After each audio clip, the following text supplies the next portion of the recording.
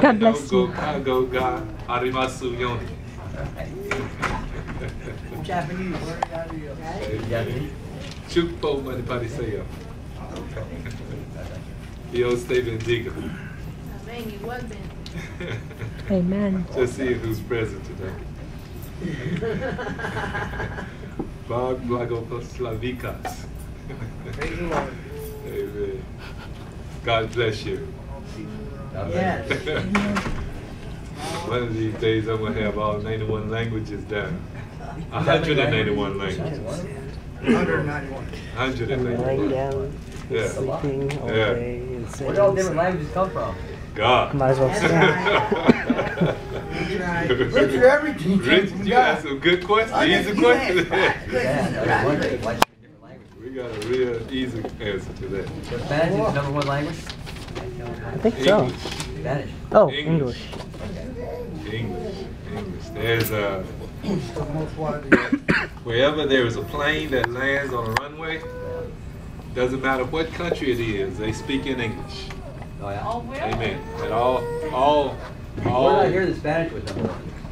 well, they might be spoken more, but uh, wherever there's, I didn't know that. wherever there's a runway, that from a mess. yeah, the aircraft, all aircraft controllers speak in English. There's one common language. And, and, and so before we get into the preacher, since you all want to go trivia, Yeah.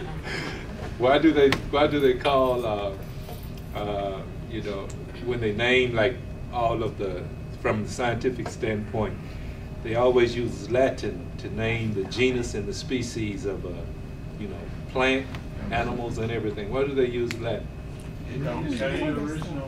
point blank it does not change Okay. amen Exactly. Latin is a dead language and since it does not change you know you what is what is what what is what is today will be tomorrow whereas Oh, yeah, there's no slang for it, huh? Yeah, whereas in the, in, in, the, in English and in uh, rest of the languages, we have something called the connotative meaning and the denotative meaning. And, and, and what is, what is true today might not be true tomorrow. Because back in the sixties, I used to be able to be gay. You ain't saying that Happy. That's right. Well, the word gay was Gay happy. happy. now. You ain't happy back then. There's a different Yeah. for that. In the sixties, gay was, he was just a happy little, he was a gay, you know. No. Being gay. That's gay. That's it. You're happy. Yeah, you just happy. Mm-hmm. That's, Amen. that's what the But- dictionary But today you can't be gay. Yeah, You, because they you can change- be, but you don't. You Yeah, have to. but. You can't, Well, you got that down. you kind of did that a little bit too good, Pastor.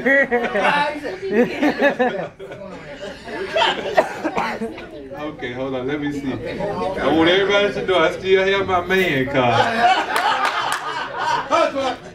I just because I wear a pink shirt don't mean I'm a girl. Come on. I'm man enough to wear the pink. That's right, that's right. That's Real right. man wear pink and wear- All right. yeah, good wear pink.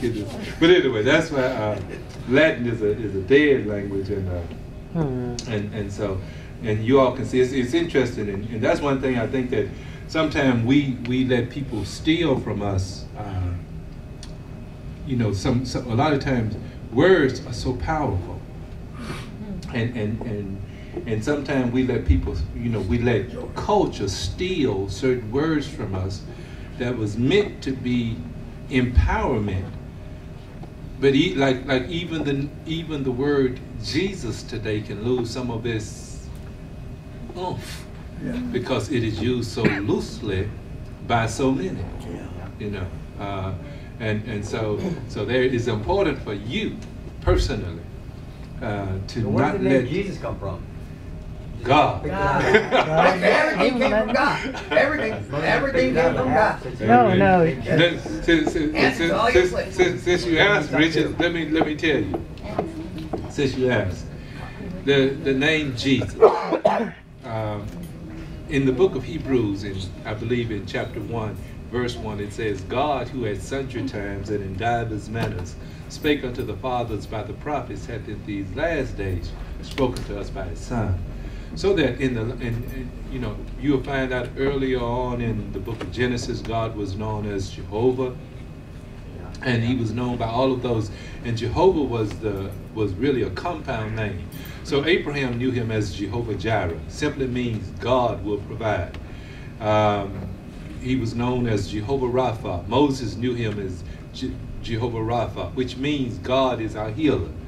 Uh, he was known, Jeremiah knew him as Jehovah Tsidkenu, which means God is our righteousness.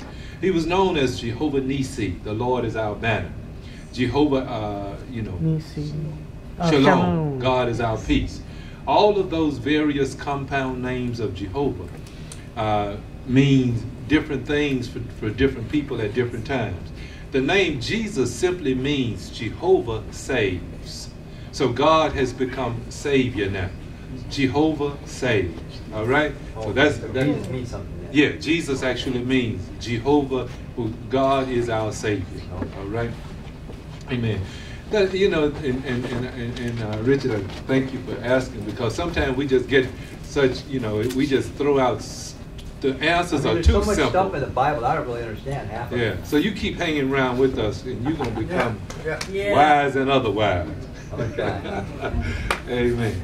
God bless you all. Uh, and and and uh, please take account the announcements. Um, we're going to begin back up. All of the announcements are appropriate. Tomorrow night, uh, hope to have the van full of folks coming over to uh, the, the worship service tomorrow night. Amen. And uh, and have some cars going along with it. Bishop Grover said, send him the theme. I talked to you all about that earlier. He said that he had got the message. Did somebody Okay, call? him? Yeah, I called. Okay. So he got the message and, and, and he said he didn't know he was supposed to be preaching. they gonna, they gonna, he'll, he'll bring the whole crowd. Good, because I've been trying to call him. Okay, so uh, so he, he wants the theme, and uh, we'll talk about that afterwards. Amen. Um, and and Tuesday night will be our standard Bible study. We're gonna pick up back up the Wednesday class, uh, the first Wednesday uh, of the year, and uh, and you know since I went out of town, I kind of uh, I asked you all to give me a little bit because push is is so important and it is important to everything that we are about, everything that we do. And by that, I mean that we are here for the saving of souls. This is about getting souls into the kingdom of God. And uh, and and there's some there's some things that we've got to change uh, in the way that we think. Hallelujah. Our thinking messes us up. Uh, our day? thinking. Lord, help Trust my God. Lord, yeah, my, my thinking messed me up. Because too often times we see bodies and not souls. Amen. And because we make certain, we make judgments about, well, this person is, you know, uh, of this color, or this person is of this body type, or this person have this hair consistency. Based upon those arbitrary judgments, I'm not going to witness to them. I'm not going to talk to them. Amen. It's, it, isn't it amazing how people will people think that the only somebody who need to be witnessed to are poor folks and pe- people who are down, you know, on their what they Right. call I, I, I'm going to say down on their luck. But but there are whole. Let me tell you, bankers need to be witnessed to, because there was a banker. Now you all remember I was talking a few, few you know a few months ago when this thing began to really go down with the with the markets. This banker went home, beautiful family, lovely family, beautiful everything, nice. He's young.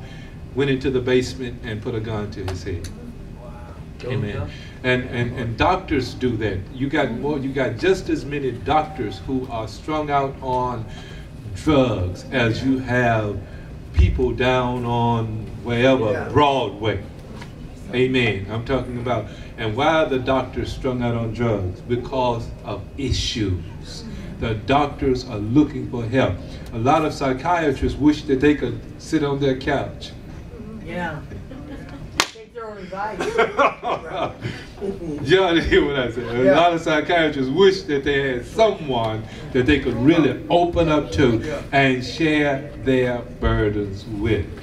Amen. So, I'm I'm talking about, and, and, and you know, the, the very person who you think don't need help is the very person who really do need some help. Amen. So I'm saying this to you all. Can I, and, and, and Sister Lisa, you get everybody in your chair.